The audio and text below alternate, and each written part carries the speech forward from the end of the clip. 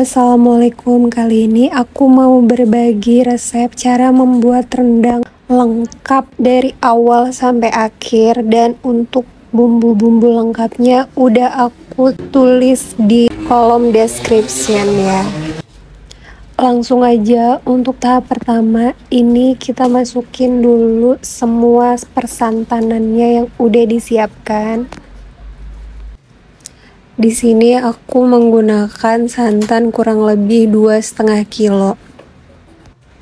Sedangkan untuk dagingnya itu kurang lebih satu kilo setengah ditambah dengan beberapa gaji.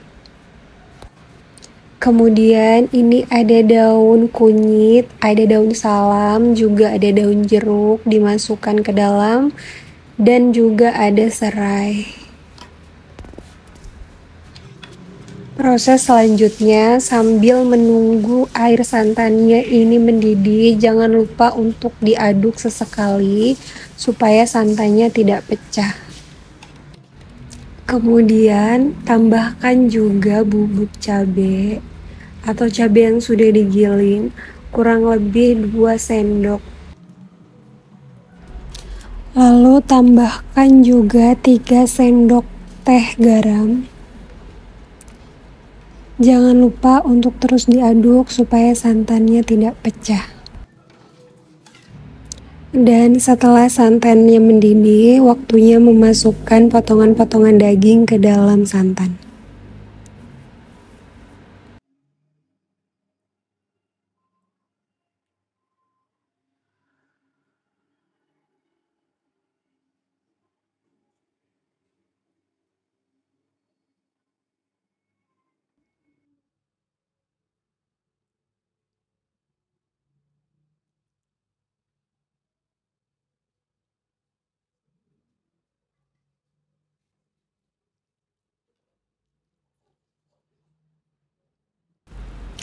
Ketika santan sudah mendidih seperti ini, harus tetap konsisten untuk mengaduk supaya santannya tidak pecah.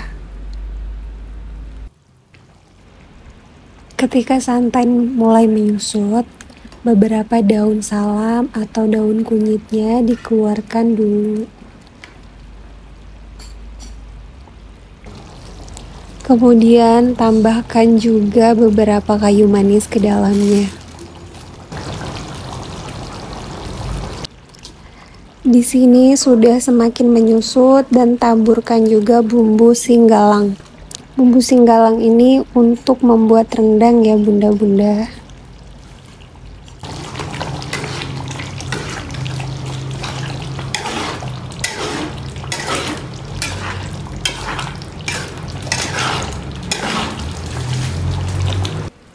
Dan yang terakhir, tambahkan bumbu warna hitam ini. Warna hitam ini adalah kelapa yang sudah dioseng. Jangan lupa untuk terus diaduk.